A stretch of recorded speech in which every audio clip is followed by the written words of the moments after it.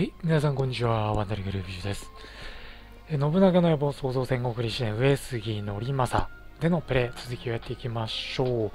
あとですね、プレイを始める前に一つだけですね、あのー、動画のコメント欄かツイッターの方だったかな、どっちだったかごめんなさい、ちょっと忘れちゃったんですけど、あの、今まで山内上杉家っていう風にね、あの、僕の方で呼んでましたけども、正しくは、山之内上杉家ですよということで教えていただきましたので、ちょっとこの場を借りて、あの、ちょっと今までの部分をね、訂正させていただいて、え、ご指摘いただいて本当にありがとうございましたというところをですね、お伝えしておきたいと思います。えー、ここまでの情勢ですね、簡単におさらいしておきますと、まず市場1つだけで、えー、始めたこのシナリオなんですが、この平井城ですね。今ちょうど画面の中央、この平井城で始めたこのシナリオもですね、その後なんとか頑張って、えー、城をですね、1つ、2つ、3つ、4つと増やして、現状はここまで勢力を拡大してきたというのが、えー、現在の情勢になります。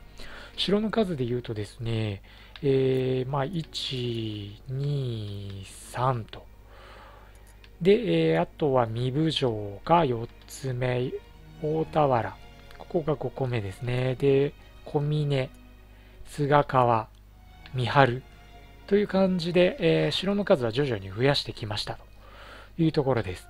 で、あとはですね、今外交状況出てますけども、まず、北条とはですね、婚姻同盟中。で、武田とも、えー、同盟中ですね。残り20ヶ月。長尾家とも残り2ヶ月ですが、同盟を残しています。これもちろん、えー、継続する予定です。で、あと、伊達ともですね、同盟17ヶ月というところで残しているというのが現在ですね。あと、連合が2つできてます。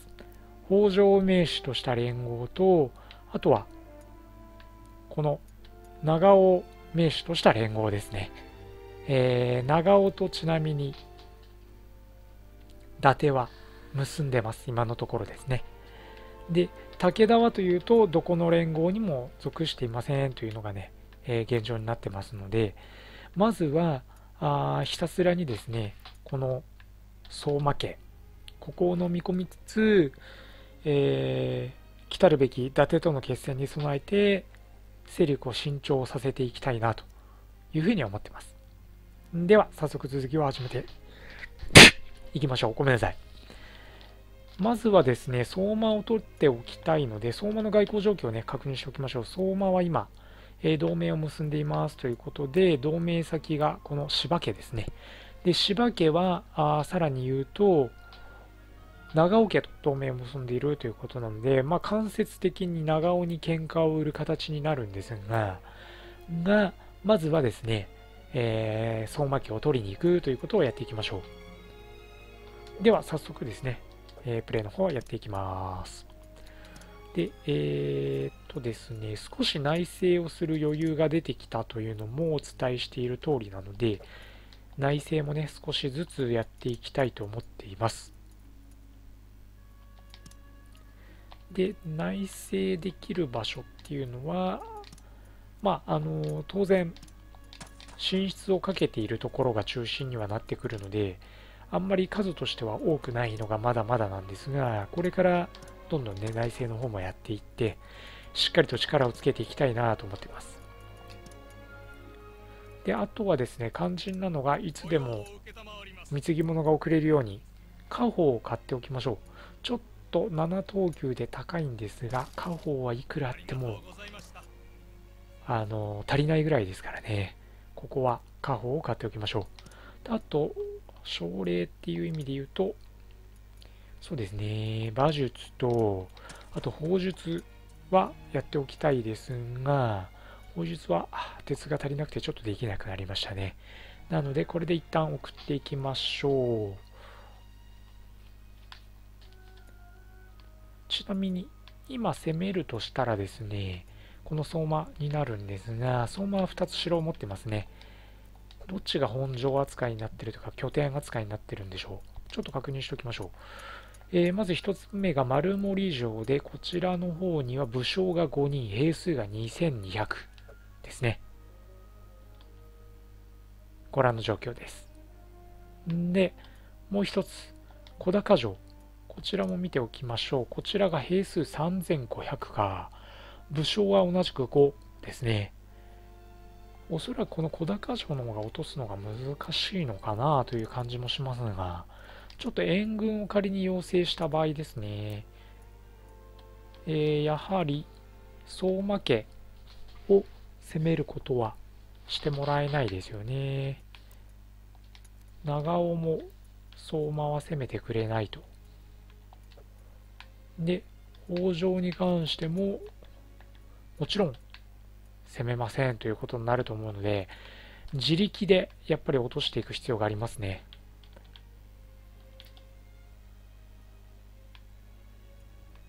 ではでは、どうしようかな。ちょっと一旦送っていきつつですね、えー、三春城に敵が攻め寄せてくるということで、これはどこの武家かというと、米沢城にいる柴家ですね。これに関してはもう援軍を要請して一周しましょう。三春城の防衛戦ということになりますが、三春城までは来てくれないか。なるほど。武田も三春城には来てくれないよね、この感じだと。ってことは、伊達に頼むしかないのかな。伊達も来てくれないが、来てくれないですよね。となると自力で守るしかないので、ちょっと一旦三春城の防衛戦を展開していきましょう。まあ、余計なところでちょっと兵力を使う羽目になりますが、三春城を疾患するわけにはいかないですからね。これだけ数が揃ってれば、三春城の防衛はなるでしょうというところですね。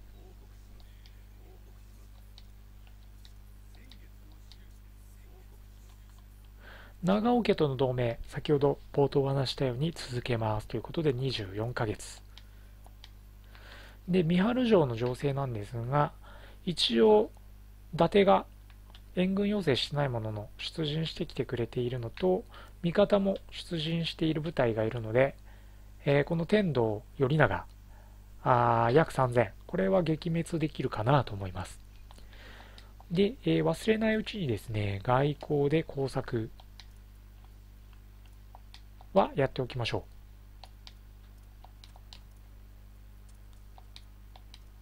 工作はね、常にやっておいた方が間違いない。100ないところに関しては工作はやっていきます。ということで、今、長尾家と北条に対して工作を行いました。で、整備に関しては委任して進めちゃいましょう。では、いよいよですね、えー、本拠地、平井城から兵を出していきましょう。まずは、平井城から兵2000が出せますね。騎馬隊が編成できないよね、まだね。なので、これを、まずは小高城へと出陣させていきましょう。で、さらに沼田城からも兵を出していきます。まあ、攻められる心配がないので、まあ、この辺りのね、岩槻辺りからも兵を出していきましょ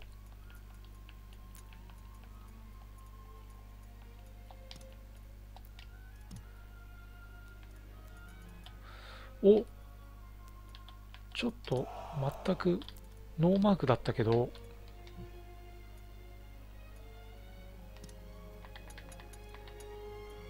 この太田道すねで合ってるのかな？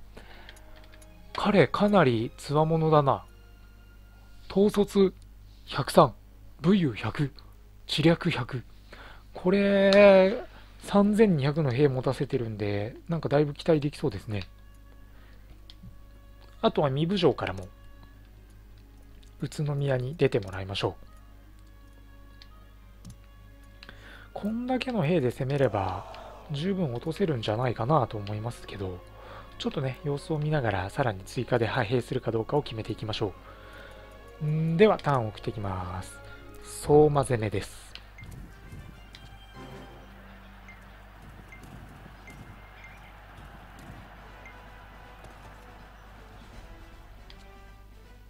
ご命令くだされ先月の収支です報告いたします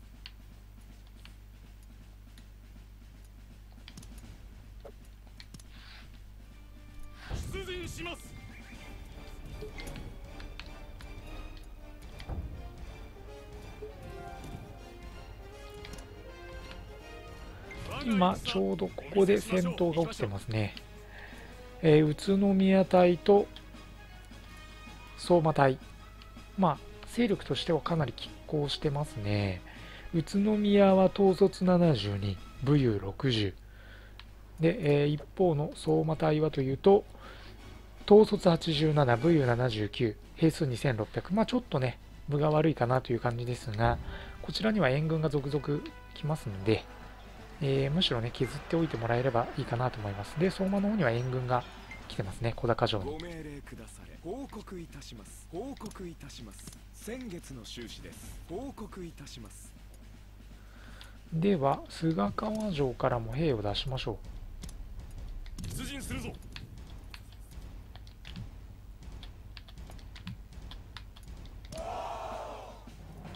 さらに小峰からも兵を出しましょう。もうここはね、一気火星に攻め立てていこうという作戦ですね。で、大田原からも兵を出しましょう。ちょっと兵数が、軍勢が整わない感じもしますが、ここは一気火星に攻め立てるという方針でいきましょう。で平井城は本城扱いにしていきたいというところでですね、今、えー、強化中なので、さらに強化をしていきましょう。であとですね、配属っていう意味で言うと、えっと、平井城はかなり武将の数が揃ってきてますので、何人か各拠点に派遣していきましょう。武将の数が足りないところがあると思うので、増やしていきます。やっぱり1人だとね、厳しいかなというところですからね。小高城を取って、その後は一気に続きなさい丸森城も攻め立てるというのが目的ですね。であとはですね、このまま行けばなんですが、できれば、もう城攻めに入る前に敵の兵を削り切ってしまいたいなというのもあるので、そのあたりはね、ちょっと様子を見ながら削れる分に関してはもう削ってしまうということをやっていきましょう。で、実際の戦闘の合戦の情勢なんですが、えー、水谷隊が218、相馬隊が27まで兵数削っていて、北からは沼田隊が小高城に迫っているという状況ですね。このまま行けば、そのまま城攻めに入れそうですね。敵が我が領内に向かっております。おおまた攻めてくるか。懲りないねこの柴家も。三春城の防衛戦を展開する意味では再び伊達家に援軍を要請しましょう。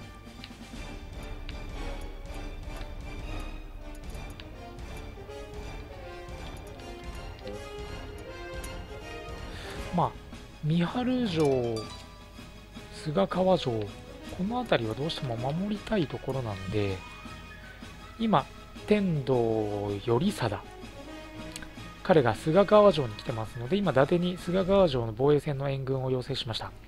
これで、えー、菅川城の防衛は伊達に任せてですね、相馬攻めに専念しましょう。我らに撃てぬ敵はありません。表情を始めましょう。報告いたします。報告いたします。先月の収支です。報告いたします。でこの後は一気に城攻めに入っていきましょう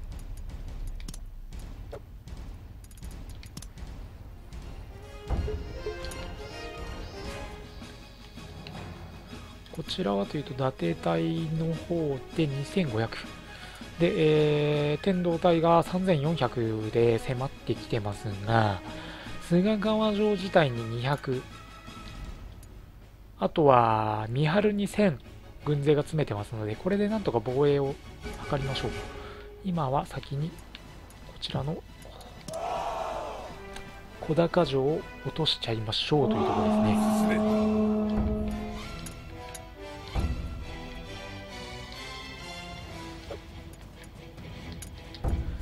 で敵の兵数をゼロにすれば全国マップに戻れば、えーそれで合戦終了ですよっていうことをね、えー教えていただいたので今回はそれをなんとか実践していきたいなと思いま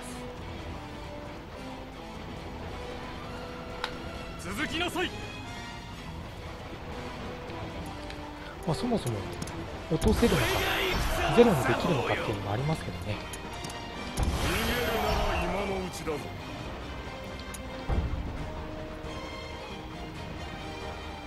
こが引き際のよう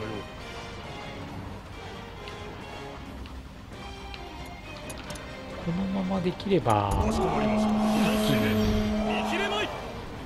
相馬を滅ぼしたかったんですが軍勢の数的にはちょっと難しいかなという感じかな。もう一回兵力を整えてから丸山城攻めになりそうな感じですねこのままだと。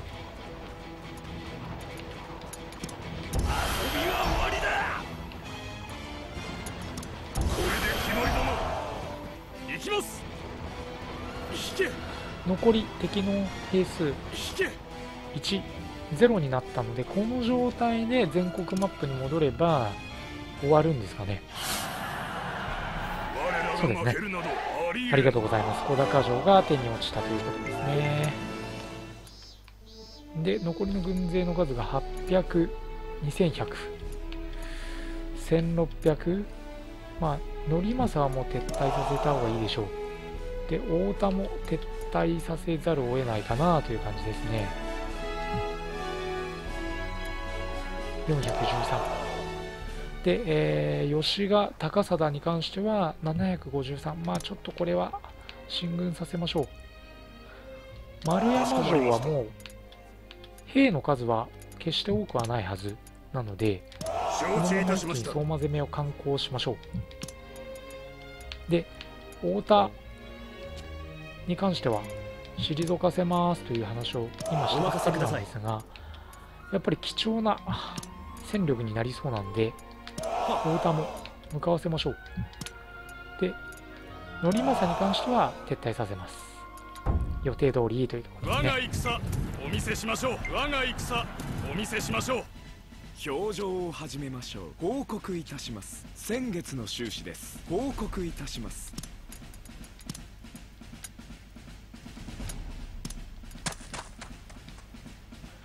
いや徐々に城の方もね城下町を発展させつつあるのでこのままいけば市場ではあるものの本城並みの大きさに育てられそうなそんな感じですね。で三春城菅川城近辺の戦いに関しては天道隊を、えーまあ、伊達家が退けてくれたのでこのまま相馬攻めに全力を注いでいきましょう。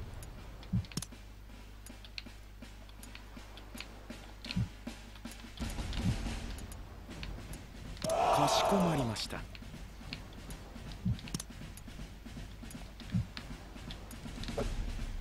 このままいくとまあなんとか相馬を落とせるんじゃないかなとは思うんですが軍勢の数がどうかというところですね。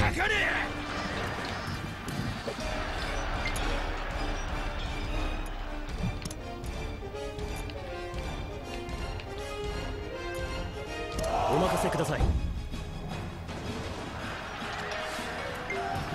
逃げ道は与えぬ。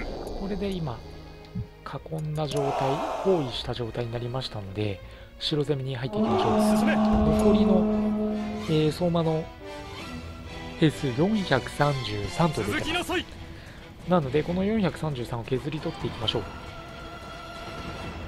続きなさい。城門を破壊しました。ここは引きます。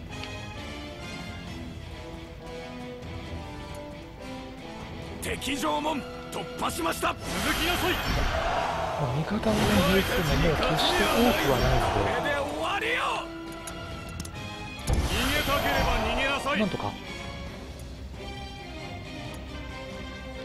このまま。城を落としてしまいたい。相馬を滅ぼしましょう。城門を破壊しました。続きなさい。残り水谷隊が64まで減らしましたね。引け。でこのまま敵ゼロまで突破しました。削りました。のでこれで全国マップに戻ります。敵将捕らえたりこの戦。我らの勝ちだ敵将。たね。い捕やらえたり。ー順調順調。城へ戻る。そしたらカクカク騎乗させます。んでここまで来て初めてこの小高城をね手にしてですね一つ国持ちになったって感じですね。この小高城に本拠地を移してもいいかな。ただ平井城もね発展させてきてるので少しね育てていきたいなという思いはあります。であとですね勢力的なところを見ると山内上杉家はあ拠点11まああの市場が多いでしょうというのはあるんですがあ拠点11武将32兵数が今2万ですね。ちょっと今戦闘が終わったばかりなので兵数としては減ってますが2万。一方目下の目標にしようとしている伊達。ここが兵数2万6000か。今ただ伊達に喧嘩を売ると長尾家がね味方してくれないということになるので連合が一旦終わるまでは様子を見ましょうでその上で、えーそうですねこの柴家再三米沢城から出撃してきているこの柴家大崎家この辺りを先に潰してしまいましょう。で、えーいろんなところからちょいちょい兵が出せるっていうような状況にした後にですね、伊達を滅ぼしましょう。伊達の優秀な武将、家臣団をそのまま吸収するっていう作戦でいきましょうかね。ではでは、一旦兵を引いた後、柴家攻めに入っていきましょう。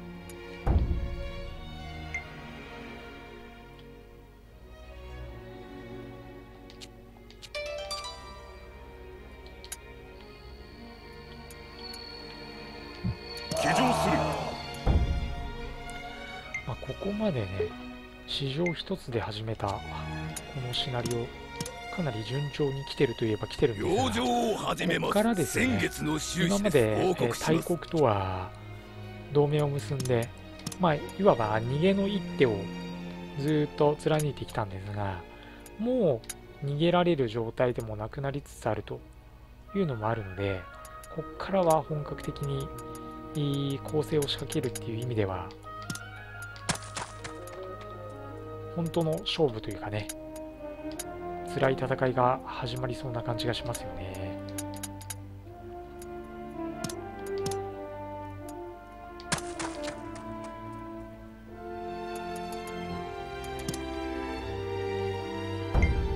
まずは柴家の米沢城を逆に攻めますか。今まで散々米沢を攻めて攻め立てられていたので、米沢からかな？攻め立てられていたんで、米沢を逆に奪いに行きましょう。えー、という話をしているところで、連合が解散したな？連合が解散したとなると、いよいよ伊達を攻めやすくなる状態が出来上がりますね。先月の収支です報告します伊達を攻める前に先に柴家。伊達の力を借りて柴家を倒す。これが一番いいかな。んで、その後、自身の力をつけたら、その力を持って逆に伊達を打つ。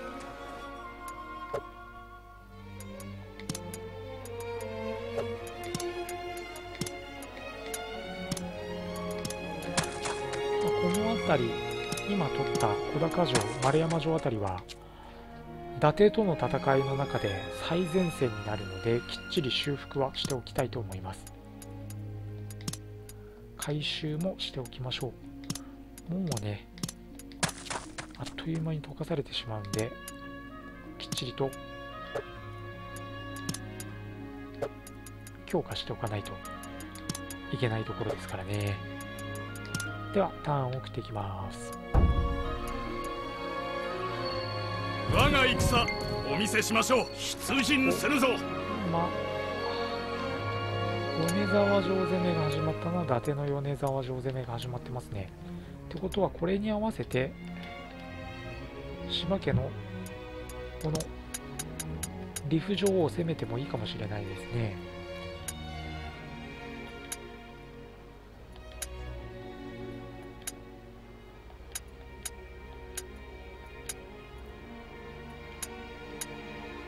兵数がただ6000もいるのか。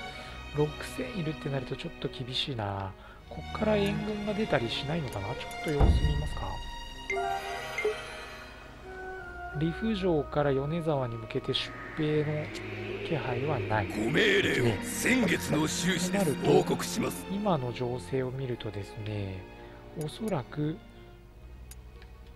このまま行くと米沢城は伊達が落としますと。で伊達が落とした後この柴家を我が山之内上杉が落とすっていうのが理想のパターンですよね。よしでは出兵していきましょう。この目的は柴家。利府城を攻めます。軍勢は惜しみなく出していきましょう。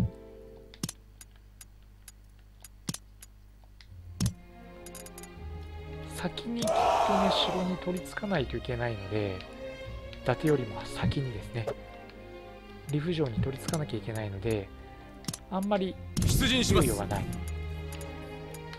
かなということですね。なのでもう本当に間髪入れずですね兵を繰り出していきましょう。でその後包囲戦に入るようであればあ兵を迂回させたりとかその辺りはね柔軟に対応していきたいと思います。ですのでまずは利府城に立てより早く取り付く。これを目標にしていきましょう。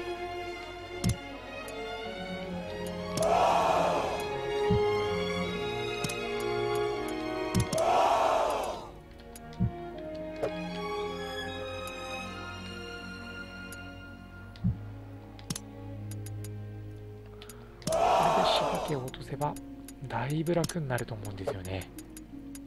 ちょっとそのあたり期待していきましょう。出陣します。先に取り付けますねこれで。先に取り付くことができれば米沢城が多分先に落ちると思うんですよね。このリーフ城よりも先に。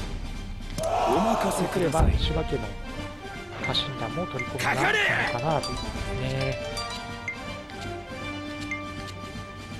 表情を始めましょう。報告いたします。報告いたします。最前線に当たるこの辺りに関してはリ丸山城。さらには小高城。でもっと言うとこの三春城菅川城あたりもかなり危険な場所にはなってきますので、えー頃合いを見て回収をしていきましょう。回収をしていきましょうっていうか回収してくれって言った方がいいのかな。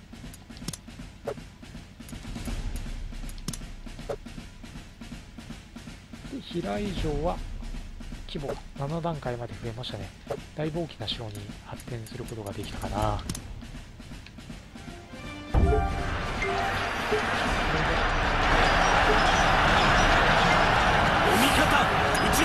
がやっぱり多いですね。何誰かが討ち死にした？大塚が討ち死に大塚正成が討ち死にか。貴重な武将なんだけどな。で芝隊はまだ4590残ってるんだな。これを3方向から攻め立てればだいぶ削れるんじゃないかな。ご命令くだされ報告いたします。先月の収支です。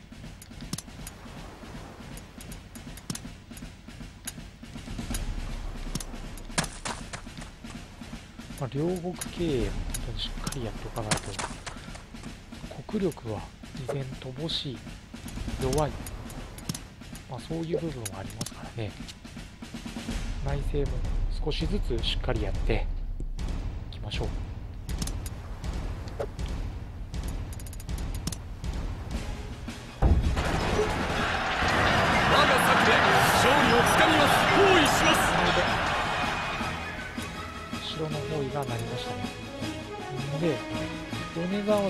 でに伊達の元に落ちているのを確認しました。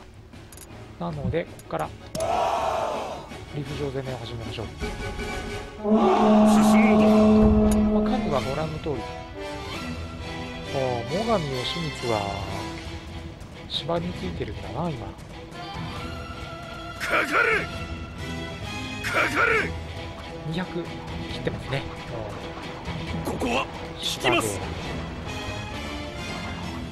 なのでこのまま例によって定数をこれで決まりだいきましょう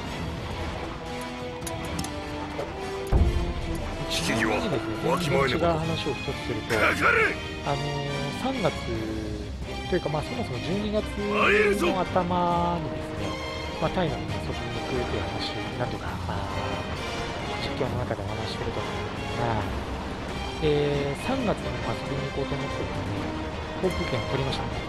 で3月って3連休があるんですね。引き際は心得ています。それに合わせて、えーまあ、ちょっと有給を、まあ、プラスアルファで取って遊びに行こうっていう作戦で航空券お任せください3連休でですね、えーびっくりびっくりするほど。勝利しました、まあ、とはいえもう落ちてしまったんでもう行くしかないんですけど。参るぞやっぱり3連休となるね飛行機。我が采配で勝たせてもらう高くなりますね。我らが攻めに耐えきれるか？我らが行くぞとくとご覧あれ！こんな日もある。思ったより削れてないな。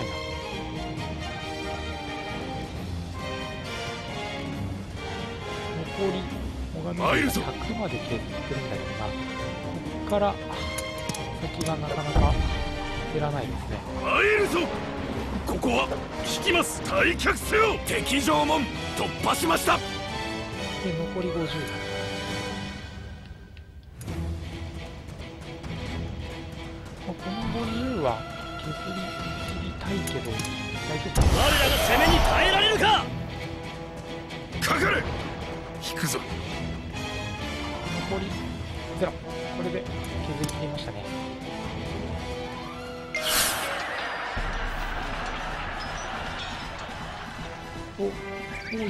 囲が解けてしまった表情を始めましょう。報告いたします。先月の収支です。まあ、ただこの後は大詰めが来てるので問題なく落とせるはずですね。なのでまああの話を戻すとこの1年はちょっとね海外旅行を含めて結構忙しくなりそうな感じですね、まあ、12月の頭に。取り囲め来てるな。ここは援軍が来てるので仕事に。さっきのは何だったんだっていう感じですけど。行くぞ12月の頭にタイに行って年末年始はロサンゼルスの方に遊びに行き2月は上海に、えー遊びに行ってで3月には今話したようにタイに、えー行きますということとかかれゴールデンウィークはディズニーワールドに遊びに行く予定、まだここはね、航空券もホテルも取ってないですね、一応そういう予定。城門を破壊しましたかかれ逃げたければ逃げなさい逃げるなら今のうちだぞ。海外に行ってやっぱり散財する感じになってますけど、それで今、モガニ勢というか、まあ、芝勢兵力をゼロにしましたので、臆したか？よし、これで芝敵将捕獲したぞ！騎乗します。騎乗します。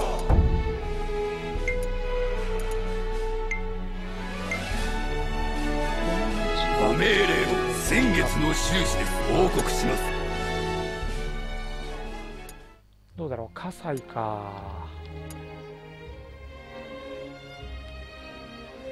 攻めるなら葛西、大崎、この辺りを先に滅ぼしてしまって、伊達を攻めやすくするっていう状況を作った方がいいのかな。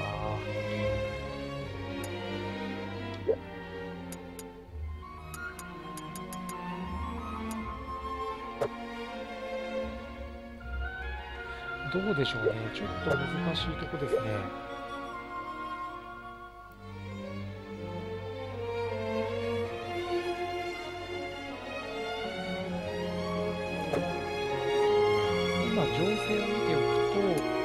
武田、うん、拠点8、武将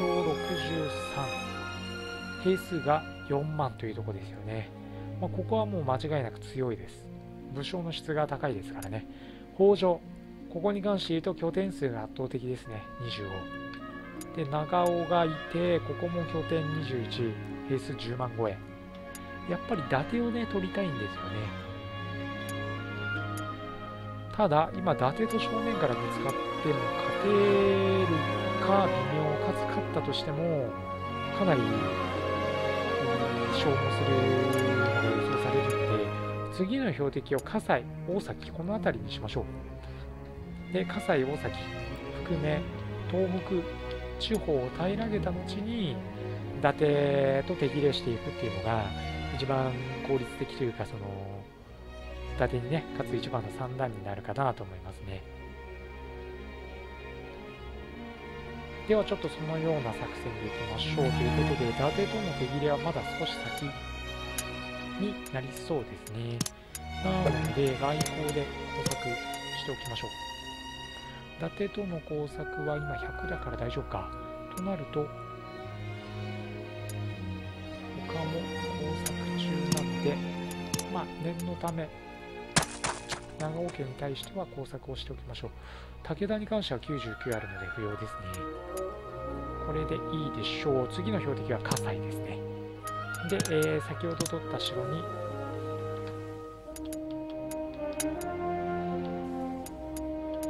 武将を忘れないうちに入れておきましょう。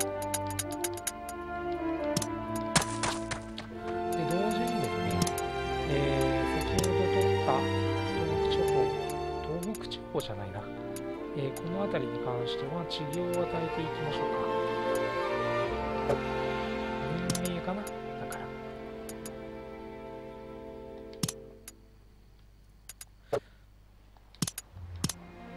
誰に任せるかにですが、太田は残しておきたいので、長尾、彼に、小高城、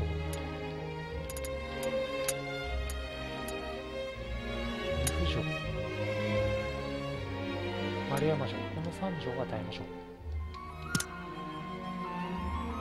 で、平井城から3人ほど派遣してあげましょうかね。で、えっ、と、相馬を滅ぼしたあ武将が後で加わると思うので、さらに追加しまでかなり順調に進んできましたので、次回はね、葛西家を攻めますというところで、えーいい時間になりましたので、今回はここで終わりにしてですね、えー続きをお届けしていきたいと思います。ちょっとここまですごく順調に来ていて、特に今回、波乱万丈感はなかったかと思うんですが、あこの先、伊達との決戦とも控えていますので、えー引き続きお楽しみいただければ嬉しいなと思います。今回はここまでにさせていただきます。えーご視聴ありがとうございました。この動画が面白いと思った方はチャンネルの登録をお願いいたします。動画の視聴画面の下の方からチャンネル登録することができますので、ぜひよろしくお願いいたします。